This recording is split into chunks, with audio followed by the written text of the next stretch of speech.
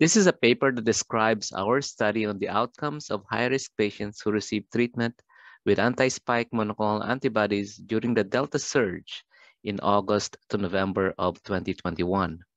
In July of 2021, COVID-19 pandemic moved into the Delta phase. The Delta variant of concern is one of the most virulent variants identified to date, and this has led to the surge of the pandemic starting in July of 2021 and went through November and early December of 2021. In a prior separate report uh, during the early part of the Delta surge in July of 2021, we observed that patients treated with casirivimab imdevimab was associated with a reduced rate of hospitalization by as many as 80%. This video content is copyrighted by Mayo Foundation for Medical Education and Research.